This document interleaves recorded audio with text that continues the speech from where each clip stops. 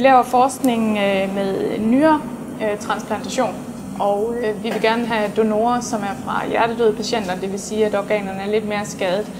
Så det vi har gjort i dag, det er, at vi har skadet den nyre, og så vil vi så gerne prøve at forbedre funktionen, sådan at man kan bruge organerne ude i fremtiden.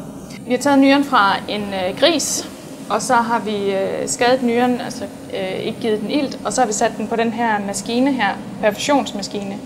Og princippet er, at man opbevarer organet fra man tager det ud til man skal sætte det ind, øh, og så får øh, nyren øh, blod pumpet igennem sig, og det skulle gerne forbedre den.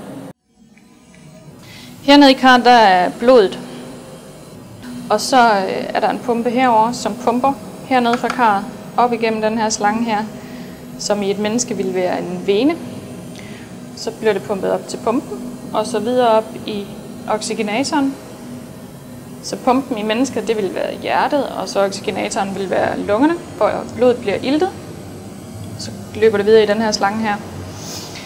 Så det her, det vil være en pulsår inde i et menneske, så løber det hele vejen op her, og kommer ind her. Og så pulsåren til, til nyren, den er bundet fast til den her connector, som vi kalder det. Og så bliver flyder blodet ind i øh, nyren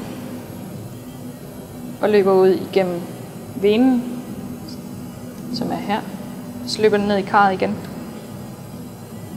Drømmescenariet ville være, at man, der var en stor gruppe donorer, som man kunne øh, inkludere, så man fik flere nyrer, som man kunne give til patienter. Men nyrerne skal jo være øh, gode nok til, at man har lyst til at give dem. Så, man er, så vi er nødt til at arbejde lidt på at, at reparere dem, inden at, øh, at vi sætter dem i.